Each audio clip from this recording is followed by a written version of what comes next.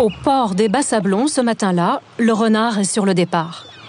Voici l'un des derniers navires armés par le malouin Robert Surcouf au début du 19e siècle. Il a été reconstitué par des passionnés. Un bateau corsaire emblématique donc, mais la première surprise, c'est sa taille. Finalement, il n'est pas très grand ce bateau de corsaire. Oui, tout à fait. On appelle ça un cotre ou un cutter en anglais.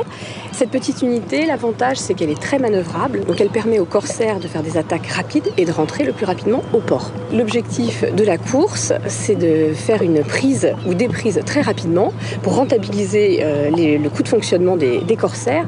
Et l'objectif n'est absolument pas de mener le grand combat et les combats héroïques comme on a souvent euh, l'idée dans l'imaginaire collectif. Deuxième surprise, il faut imaginer à bord une soixantaine d'hommes entassés. Parés au combat, certes, mais surtout motivés par le butin qu'ils espèrent ramener au port. Karine, elle, embarque pour la première fois, comme l'ont fait avant elle des générations de marins malouins, familiers des voyages au long cours.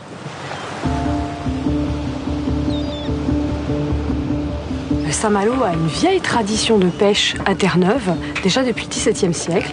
Donc on a des malouins qui sont bien formés, qui sont compétents et qui sont capables, en temps de guerre, d'être reconvertis pour l'activité corsaire.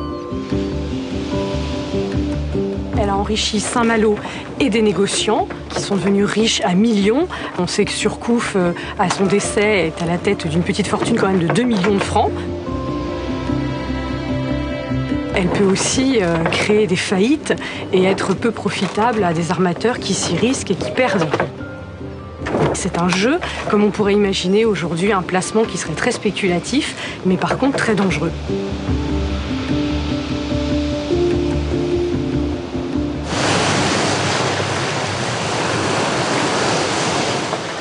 En clair, le capitaine armateur, passionné de navigation, est alors avant tout un homme d'ambition et d'affaires.